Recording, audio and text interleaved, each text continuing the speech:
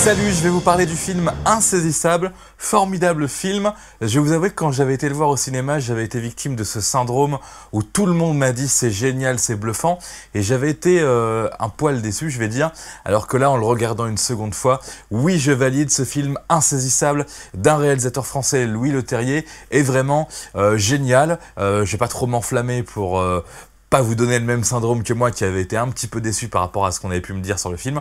Donc c'est un film vraiment cool. Je peux parler deux secondes du synopsis qui est assez inédit euh, pour le coup, qui fait que déjà euh, sur le papier on a un film euh, voilà assez inédit au niveau du, scénario. On a une association de quatre magiciens qui vont faire des, tours de magie assez exceptionnels et même on pourrait dire carrément des, des casses. Donc on se prend déjà le spectacle de la magie, de la magie grandiose on peut Et puis il y a une grosse intrigue, euh, euh, on va dire, euh, entre l'enquête du FBI et ce que vont faire les magiciens. Il y a un casting qui, on peut quand même le dire, assez formidable. Je pense à Michael Caine, je pense à Morgan Freeman, qui sont pas là euh, juste pour faire euh, deux trois apparitions, ils sont vraiment dans le film, ils ont vraiment des rôles euh, importants. Je pense à tous ces jeunes acteurs qui sont vraiment cool, comme Marc Buffalo, comme bah, tous ces jeunes acteurs qui font les magiciens. Je pense à Mélanie Laurent, la petite française du film qui fait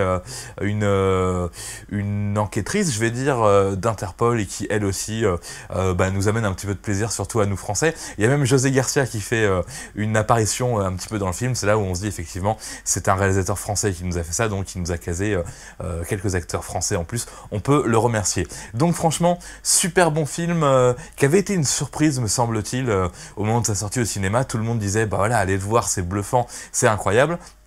Alors moi j'avais été victime de ça euh, en m'attendant à un truc encore plus plus dingue, mais euh, finalement c'était une belle surprise, on peut dire euh, euh bravo encore une fois à Louis Leterrier, réalisateur français, qui bah voilà montre qu'on peut faire des choses magnifiques nous aussi les Français. Je reviens sur ce mot magnifique parce que je pense aussi aux gens qui aiment la magie mais ne peuvent pas aller voir des spectacles de magie à Las Vegas ou même n'importe où, des gens qui ne peuvent pas aller voir ce genre de choses grandioses tout le temps, et ben je trouve que en regardant ce film, on a un petit peu accès à ça, à tous ces grands tours de magie euh, qui sont un petit peu euh, surdimensionnés, où on essaye toujours de faire euh, plus gros, plus dingue, et eh bien on a ça dans le film, même si on se moque un petit peu de tout ça.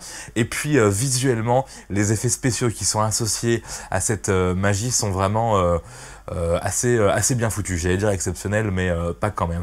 Donc franchement, insaisissable. Euh, belle surprise pour moi qui le regarde euh, donc en, deuxième, en deuxième vision cette fois-ci. Je le recommande à 100% pour euh, l'ambiance du film. Ça m'a fait penser un petit peu aussi à Ocean Eleven ou à Braquage à l'italienne. Il y a vraiment euh, ce côté-là, euh, intelligence du braquage mélangé à de la magie. Donc c'est très intelligent, c'est très bien fait. Insaisissable. Vivement le 2 que je vais aller voir très bientôt. Salut